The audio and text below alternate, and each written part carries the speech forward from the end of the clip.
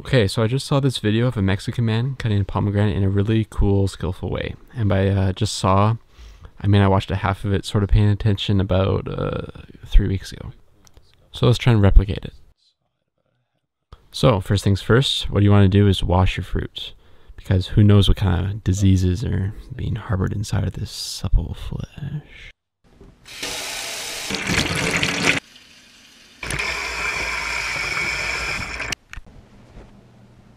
Alright, after it's all rinsed and uh, ready to go, you want to make a careful incision right down the center, about halfway into the pomegranate. Then rotate it 90 degrees and do the exact same thing once again. So once you're finished that, you'll have a kind of X or a plus sign kind of design, and you're going to want to cut away all four of the tops. Just like this.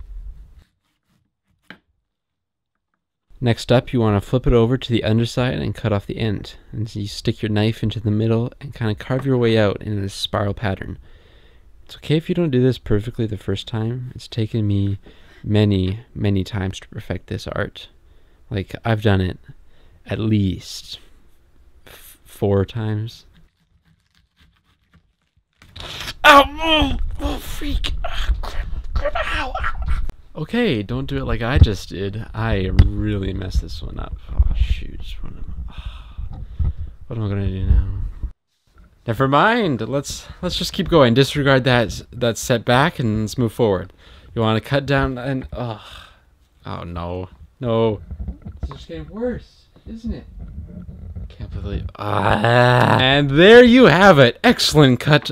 Precision like a surgeon. Ready to enjoy, paired perfectly with a tall glass of lukewarm skim milk. Best to eat immediately before you go to bed. Guaranteed to make the next morning chock full of surprises. Mm-mm. Enjoy. Mwah.